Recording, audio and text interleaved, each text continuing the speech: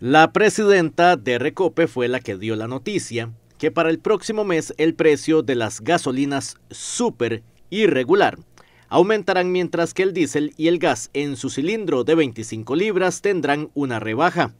Con este panorama la gasolina super pasaría de 728 colones a 743 el litro. La Plus 91, conocida como regular, de 691 a 722 colones.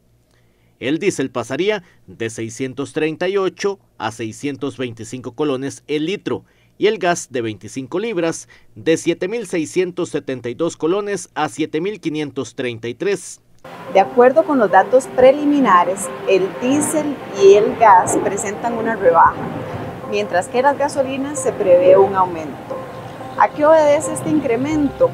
En el mercado internacional, los precios de la gasolina super y la gasolina regular registraron un alza por tres razones.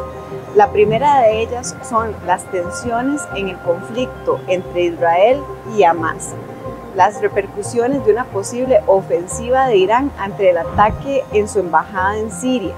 Y además, el inicio de la primavera en el hemisferio norte aumenta la movilidad de personas y ante esto hay una mayor demanda de estos productos.